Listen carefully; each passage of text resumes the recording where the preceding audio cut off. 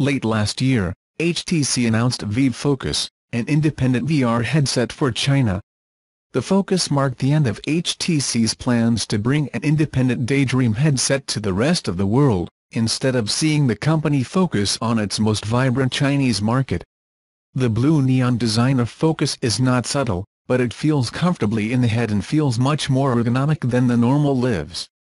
It is powered by a Snapdragon 835 processor, and it has a resolution of 2880x1600 with a refresh rate of 75 Hz and a field of view that I thought was as wide as Vive. It is charged via USB-C and the battery lasts between 2 and 3 hours, according to HTC representatives. The most important specification of the Focus is its inside-out scan of 6 degrees of freedom, which allows it to move freely in virtual environments while using headphones. Like Lenovo's Mirage Solo, this works through two front cameras that scan the world around you and translate the data into your own virtual movements.